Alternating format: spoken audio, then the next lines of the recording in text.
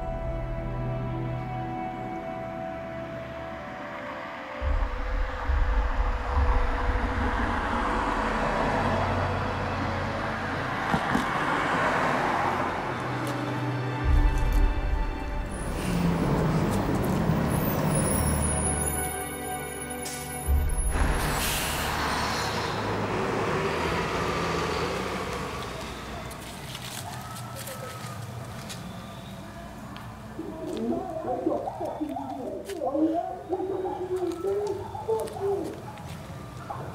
you.